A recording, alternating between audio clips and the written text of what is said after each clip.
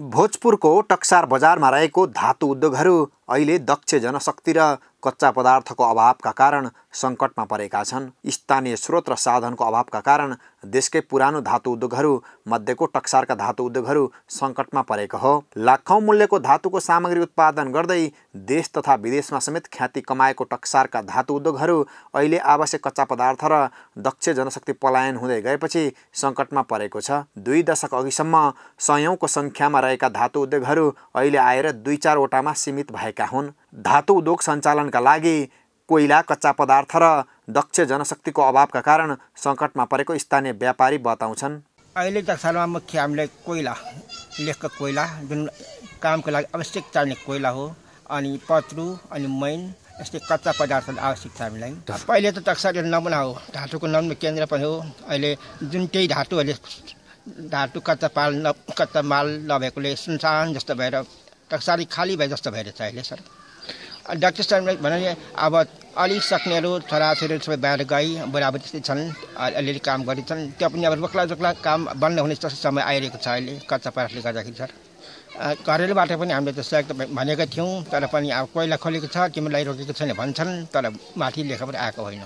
विक्रम सम्मत अठार सय बहत्तरमा राजा गिरमाणा विक्रम शाहको पालामा टक्सार खाने अड्डा स्थापना भएपछि बजारको रूपमा बस्ती विकास भएको हो। स्थानीय बासिन्दाका अनुसार विक्रम सम्मत अठार सय सत्तरीदेखि तत्कालीन सरकारले भोजपुर खटाङ उदयपुर ओखलढुङ्गा सोलोखुम्बु सङ्खुवासभा धनकुटा तेह्रथुम ताप्लेजुङ इलाममा सुन तामा सिसा पित्तल र फलाम खाने उत्खनन गर्न थालेपछि टक्सारमा खाने अड्डा स्थापना भएको हो। यहाँ पाटनबाट ल्याइएका कालीगढद्वारा फलाम र तामाको डोली पैसा बनाइन्थ्यो।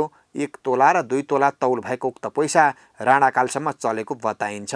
टक छाप्न पाटनबाट कालीगढ ल्याइएका थिए। त्यति बेला निर्मित दुई दर्जन मठ मन्दिर गुम्बा चैते बौद्ध विहार धारापाटी पौवा हस्तकला र मूर्तिकलाका अवशेषहरू टक्सारमा यथावत छन्। संरक्षणको अभावमा यी संरचना पनि जीर्ण भइसकेका छन्। धातु उद्योगले प्रसिद्धि कमाएको टक्सारका उद्योगहरू बन्द भएपछि सो क्षेत्रका मानिसहरू पलायन हुँदा बजार समेत सुनसान बनेको छ। अहिले थोरैको सङ्ख्यामा रहेका धातु उद्योगहरूले भोजपुरको मागलाई समेत पुरा गर्न सकेका छैनन्। उद्योगलाई अहिले टटकारो आवश्यकता कोइला कच्चा पदार्थ मैन र दक्ष जनशक्ति देखिएको छ। यहाँका धातु उद्योग र टक्सारको मौलिक पहिचानलाई जीवित गराउन व्यवसायीहरूलाई स्थानीय स्तरबाट अभिप्रेरित गराएर औद्योगिक क्षेत्रको रूपमा विकास गर्न सके संरक्षण गर्न सकिने स्थानीयहरूको भनाइ छ। यहाँ चाहिँ तपाईँको कालीगढ पनि प्रशस्त। अब जुन धातु बनाउनको लागि चाहिने कच्चा पदार्थहरू भयो यी पनि प्रशस्त मात्रामा पाइने जस्तो यसको लागि मेन चाहिने सामान भनेको कोइला र पत्रु होइन। यो प्रायः कोइला सुन्तलेबाट ल्याउने र कच्चा पदार्थहरू काठमाडौँ ल्याउने। र त्यतिखेर प्रशस्तै मात्रामा कालीगढ र त्यो भएको हुनाले अहिले त्यस्तै के सामानहरू प्रशस्तै उत्पादन हुन्थ्यो। हाल आएर चाहिँ के हो भने लगभग यो बिस तिस वर्षको बिचमा आएर चाहिँ मान्छेहरूले चाहिँ अब जब टक्सारमा नेवारहरूको बस्ती कम हुँदै गए र उनीहरूले आफ्नो सिपहरू पनि यहाँबाट अर्को ठाउँ सार्दै गयो क्या। ऐतिहासिक कालदेखि नै प्रसिद्धि कमाएको टक्सार धातु उद्योग हाल आएर बन्द हुँदै गएका छन् भने भोजपुरको मौलिकता पनि हराउँदै गएको छ। त्यसैले भोजपुरको मौलिकता र साखलाई जोगाउन स्थानीयसँगै राज्यले पनि पहल कदमी गर्न आवश्यक देखिन्छ।